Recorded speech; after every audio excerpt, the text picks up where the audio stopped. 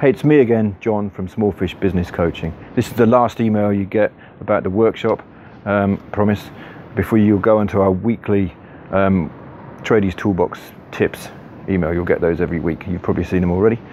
Um, so you can't make the workshop, but you might, if you'd like to interact with me, there are other opportunities, like I said. You know, I run a monthly webinar, which is only an hour, and you can do from home, so you don't need to spend money before you learn a bit more about whether I can help you in your business. You can, of course, call me. And of course, there'll be other workshops. And if you're on my list and you don't unsubscribe, which of course you can do, I'm sure you'll find out about them. So, adios. Have a nice day.